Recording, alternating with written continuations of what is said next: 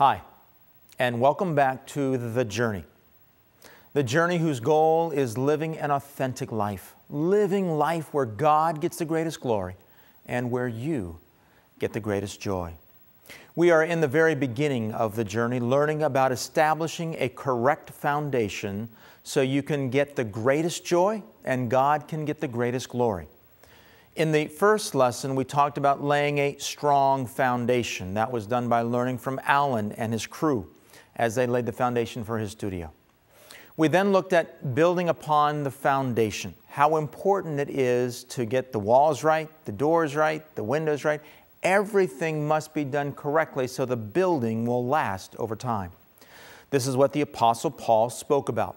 In the scriptures, Paul spoke about building on the foundation of Jesus Christ that he was laid. He was talking to Christians, so he was simply saying that believers are to form their faith upon Christ.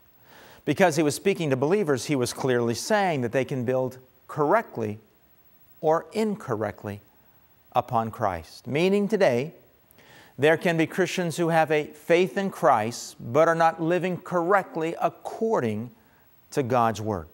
And the journey is here to say that, yes, there is a great part of the building. In other words, there are many people in the body of Christ, in the church, that are living incorrectly. We say life is about God, but we live life as if it is about us, as if everything revolves around us. We say God is on the throne and everything revolves around Him, but we live life as if we are on the throne and everything revolves around us. In our last time together, we began focusing on God on His throne. We looked at multiple passages that talked about a throne in heaven and God being on that throne. In today's lesson, we want to add to that. Not only is He on the throne, but everything revolves around Him. Let's look at Romans chapter 11, verse 36 again. From the New International Version and the New American Standard Version, they say it in the exact same way. For from him and through him and to him are all things. To him be the glory forever. Amen. For from God, everything is from God. He spoke and it came into being. Nothing came into being that God didn't create. He is the author of all things. He has willed everything to be that we now see and experience. And through God, meaning all things hold together in God. Nothing holds together without God making it hold together. And to God are all things. That means everything around you right now. Your computer screen, the computer itself, the light you are seeing by, the chair you are sitting in, the clothes on your back are to point you to God. It means for me the same thing. These clothes are to point me to God. The shoes on my feet are to point me to God. These tools are to point me to God. Everything is to point us to God. I love the way the New Living Translation puts it. For everything comes from Him and exists by His power and is intended for His glory. All glory to Him forever. Amen. Those who translated this version point directly to His glory. Everything is for His glory. The International Children's Bible says it this way God made all things, and everything continues through God and for God. To God be the glory forever. Amen. Everything continues through God, meaning if God didn't want you or me to hold together, poof, instantly, we would be nothing. We would no longer exist. We would be gone. Everything is through God we are trying to drill home a point. We are trying to lay a firm foundation. God is on His throne, and everything is to revolve around Him and point us to Him. Now, there are different ways of saying it in the Bible. Let's look at 1 Chronicles chapter 29 and see what it says. O Lord, the God of our ancestors Israel, may you be praised forever and ever. Yours, O Lord, is the greatness, the power, the glory, the victory, and the majesty. Everything in the heavens and on earth is yours, O Lord, and this is your kingdom. We adore you as the one who is over all things. Wealth and honor come from you alone, for you rule over everything. Power and might are in your hand, and at your discretion people are made great and given strength. Oh, I love how it says it there. It puts God right where He is supposed to be. His is the greatness, the power, the glory, and the victory, even the majesty. Everything on this earth is His. Though you paid for it, in some sense, you are renting the computer you are using from God. Why? It belongs to Him. Everything on earth is His, everything around us is His kingdom. We are subjects to Him, whether we like it or not. And anything we have comes from God. Any wealth, any honor was given to us by God. He holds all power. He makes us great. He gives us strength. This is the God we worship. This is the God who is on the throne. Surely, from that passage, we would conclude everything revolves around God. Look at how Daniel put it in the second chapter. Then Daniel praised the God of heaven. He said, Praise the name of God forever and ever, for he has all wisdom and power. He controls the course of world events. He removes kings and sets up other kings. He gives wisdom to the wise and knowledge to the scholars. He reveals deep and mysterious things and knows what lies hidden in darkness, though he is surrounded by light. Whoa.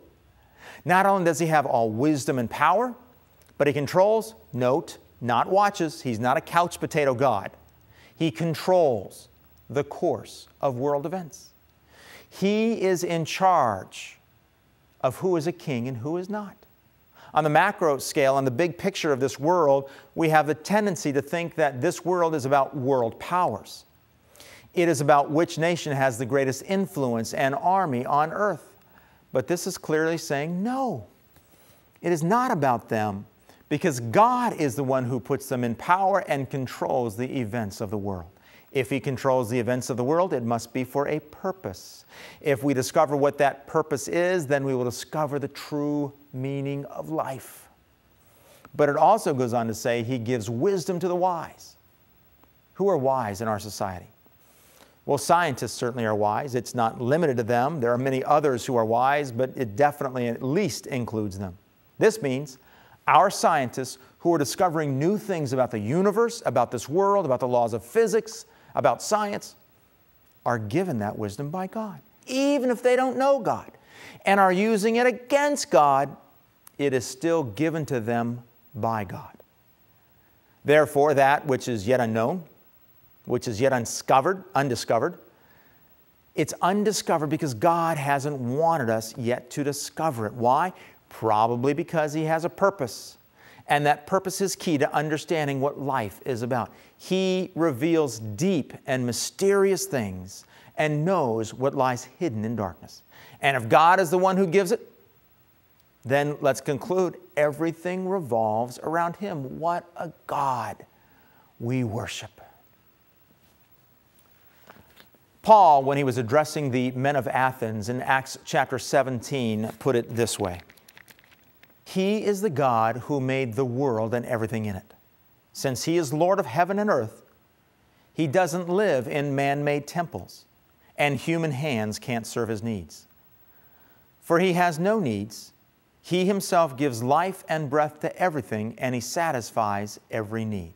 Now, there are quite a few things in there that help us to see that everything revolves around God. First, He made the world and everything in it although one may admire the pictures of Rembrandt, it is not about the pictures, it is about Rembrandt. In other words, although we may admire the beauty of a waterfall or the waves of an ocean or majestic mountains, it is not about them, it is about God who made them. Everything revolves around Him, the Creator. Secondly, He is Lord of heaven and earth we've seen He is not only in control of everything here on this earth, but now we see He is in control of everything in heaven. Everything revolves around Him. Thirdly, He has no needs. No one can serve Him. God doesn't need us to serve Him. He is completely in control and He is complete without us. Everything revolves around Him. And lastly, He gives life and breath to everything and satisfies every need. He not only gives us life, but meets our every need, and as James says it, gives us every good and perfect gift. Everything is from God. Therefore, everything revolves around God. Look at Paul's writing about Christ in the book of Colossians, chapter 1. He says these words Christ is the visible image of the invisible God. He existed before anything was created and is supreme over all creation. For through him, God created everything in the heavenly realms and on earth. He made the things we can see and the things we can't see, such as thrones, kingdoms, rulers, and authorities in the unseen world Everything was created through him and for him. Much of this we've already seen. God is the creator of all things, and life is about him. But there are some new things that I want to point out in this passage. First, Christ existed before anything else existed. God did not come on the scene at the same time we did. We are not equal to Him. God is superior. God never began, He always was. Therefore, He is preeminent. When I used to work in Libya in North Africa and tried to share my faith with Muslims, their thinking was very different from this, and they would say things like, Look, Mr. Bob, God first gave the world Judaism, and the Jews blew it. Then He gave the world Christianity, and the Christians blew it. So God said, Okay, here's one last chance. The prophet will be Muhammad, he will give you the true and final religion for all mankind, and it will be called Islam. In their thinking, the last religion is obviously the right religion. It is what everything should revolve around. But in our thinking, we're reversing that. He who came first is the one whom all things should revolve around. We did not come first, God did. Therefore, everything should revolve around God and not us. God was, God is, God always will be. Therefore, life does not revolve around religion or us, it revolves around God. But secondly, look at the end of verse 16. Everything was created by Him and for Him. The universe was created for God all of the distant galaxies, all of the black holes, every star, every planet, every moon, every comet, they were all created for God. Somehow, He takes pleasure in seeing them fly around, and He has a purpose for them. That too would mean that this earth was created for God. It was not created for us. It was not created for people in general. It was created for God. He had a purpose for it. It is for Him. But let's go the last step and make it very personal. It also means that you and I were created for God. We are not our own. Our purpose is not for ourselves. Our very existence is for God. We should not wake up in the morning and say, hmm, what do I want to do today? Rather, we should be saying, what does God want me to do today?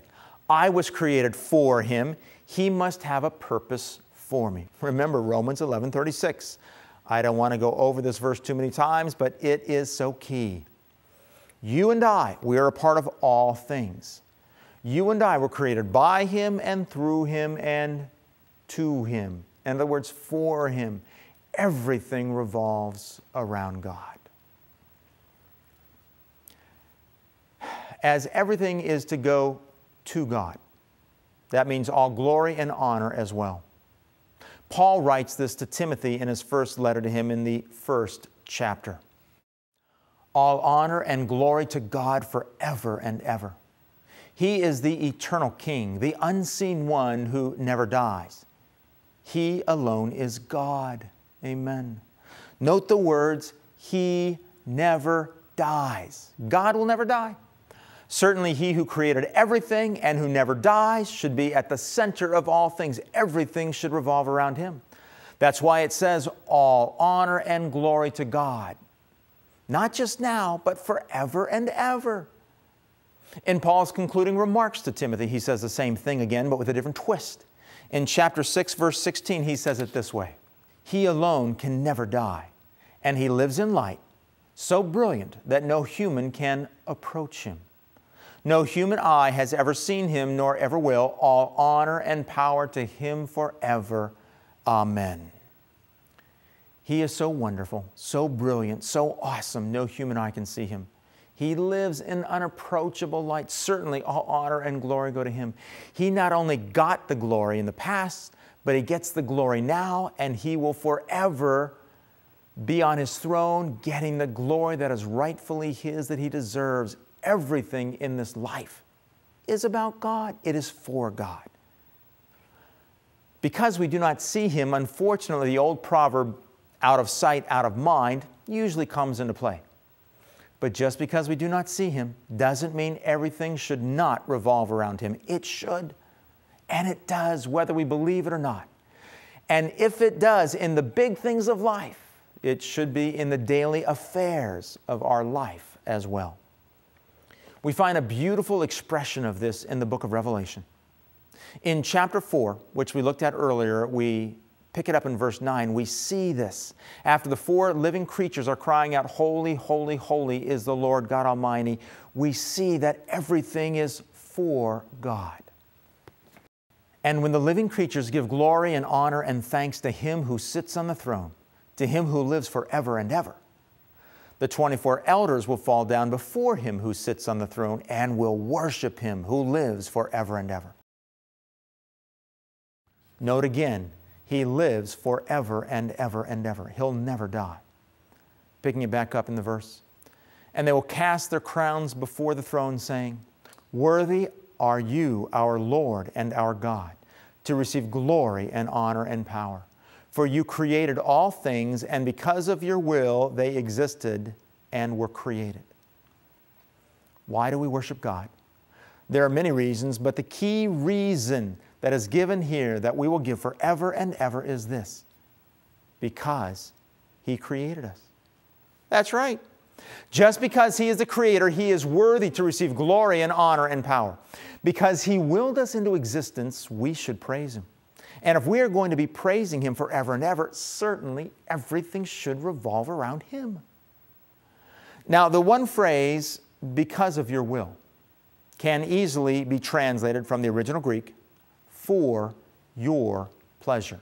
In other words, everything was created for God's pleasure, to put a smile on His face. You and I are here to please God. This earth is here to please God. The universe is here to please God. Everything revolves around Him. We go back to Romans 11 36, for from Him and through Him and to Him are all things. All, A L L, everything. All things were created by God and for Him for His pleasure. All things are to point us to God. To Him be the glory. Our focus should be on Him. Everything should revolve around Him. Let's look at Proverbs chapter 16, verse 4.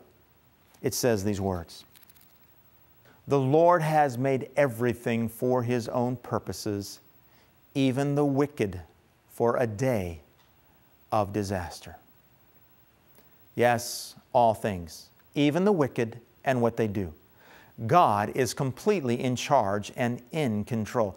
God is using everything for His own purposes. So, what are we learning? We are laying upon the foundation that Paul has given us in Jesus Christ. If we don't build upon it correctly, God will not get the greatest glory and we will not get the greatest joy. We are learning that God, right now and always, is on a throne and He is ruling and reigning over all things. We have also found out that everything is to revolve around Him, for from Him and through Him and to Him are all things. We are also finding out that He is to be worshiped and praised simply because He made us. He created us, He thought us up. For that reason alone, He is to be praised. For that reason alone, everything revolves around Him. Once we put God in His rightful place, we begin laying a correct foundation that will give us a theology that will be able to stand up against anything life can throw at us. This Bible is all about God. life is all about God. Our lives need to be all about God. Therefore, we need to be asking a simple question What does God get out of this? And not, What do I get out of this? Learning to ask this question will help you discover your greatest joy and will bring God His greatest glory. This is simply another lesson of laying a foundation that will take us to that goal. Thanks for staying with us in lesson three of the journey. We hope your foundation is being established firmly, bringing Him pleasure.